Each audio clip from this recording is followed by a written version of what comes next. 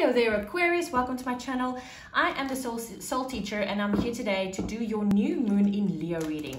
Now, the new moon in Leo is happening on the 8th of August, which means that it coincides with the Lionsgate portal. It's going to be a really powerful time for all of us.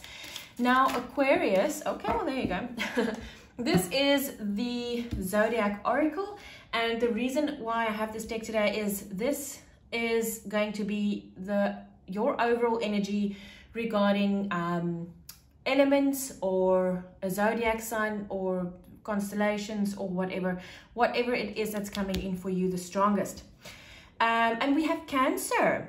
That's very nice. Now cancer is ruled by the moon and cancer is all about family about um, responsibilities about um, it's, it's a water sign, so it's very, very, very emotional. Cancers are deeply emotional people, and they're also very intuitive. So your overall energy that's coming in is Cancer.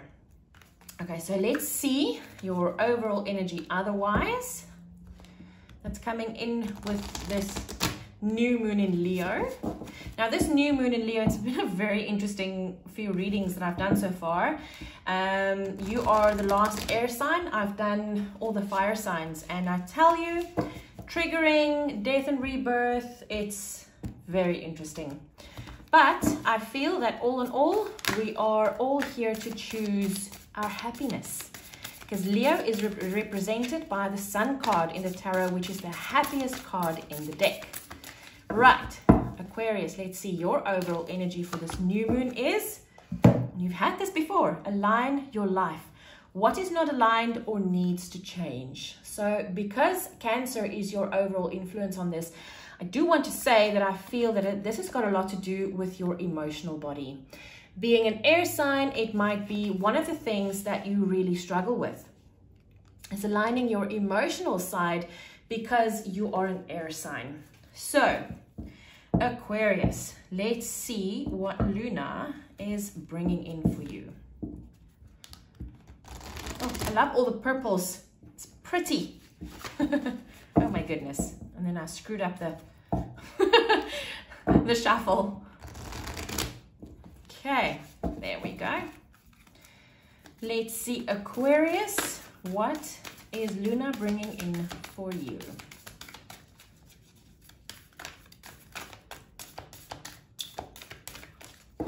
Cards are a little bit sticky. I'm going to unpack them and then we can go from there. Okay, there you go Aquarius. First up is what new avenue is your soul directing you to? Wow, yeah, it's okay. Emotions are running high, super moon. So this is really about your emotion. And I feel that it is not aligned in your life because it's so, so super overwhelming. Because you're an air sign, you rely more on your mind. You rely more on logical thinking, logical doing, and less on emotion. And something is happening or coming into your life that is bringing up a lot of emotion, and you are struggling to deal with it. Okay, it might not be that right now, but this is, or this might be what this portal is bringing in. I might be doing a Lionsgate portal reading for you guys as well. Okay, so let's see. What message is this new moon bringing in for you? Wow, this is very cool. And this is a win-win outcome as forecast. Full moon in Libra, second full moon. So you are closing out cycles, Aquarius. Okay, so what, what, what is really cool about this is that the message this moon is bringing you is that Aquarius, don't worry so much. Because whatever happens, yes, this might feel unbalanced and it might not feel comfortable, but whatever this is bringing in, a win-win outcome is forecast. This is bringing you to where you're supposed to be, okay? Your next step Another full moon, surrender to the divine. Now, like I said, Cancer is a very intuitive sign. So Cancer people are very, very intuitive. And I feel that this is something that you do need to give into is your, your intuitive side. It's quite important. Your advice, wow. This is beautiful. New moon in Aquarius bring love into the situation.